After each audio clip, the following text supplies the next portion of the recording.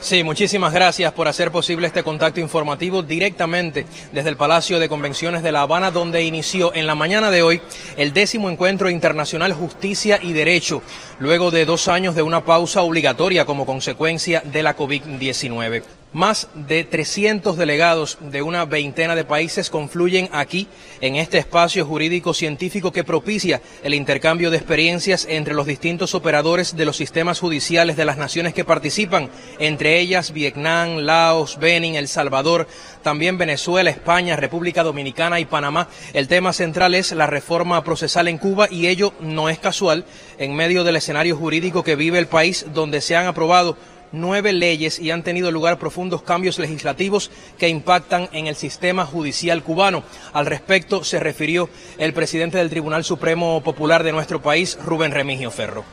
La entrada en vigor de estas disposiciones pone a prueba la preparación, pericia, competencia y destreza de todos los operadores del derecho y la actividad judicial del país, sobre todo a los magistrados y jueces a quienes las regulaciones contenidas en dichas normas confían amplias y novedosas facultades para hacer efectiva la protección judicial en cada caso desde su posición de garantes de los derechos e intereses de las personas, la seguridad jurídica y la paz social.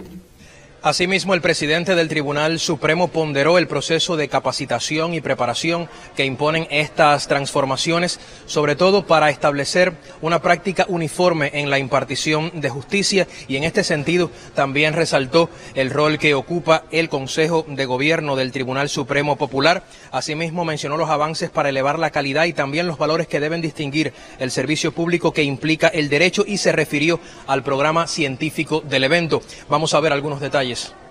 A su vez se desarrollarán 17 paneles referidos a temas transversales de la impartición de justicia, entre los que se encuentran el debido proceso, la tutela judicial efectiva, la protección cautelar, la actividad probatoria, la oralidad y la audiencia,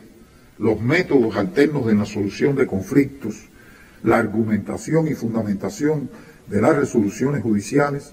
su impugnación y ejecución, en los que de la mano de reconocidos especialistas del derecho escucharemos también dos intervenciones especiales. Son estos algunos de los temas que se debaten ya en este evento internacional que parte de la premisa de que solo haciendo ciencia en función de la justicia puede consolidarse el Estado de Derecho y Justicia Social proclamado en el artículo 1 de la Constitución cubana. Es todo lo que tengo en este minuto. Devuelvo la señal a estudios. Muy buenas tardes.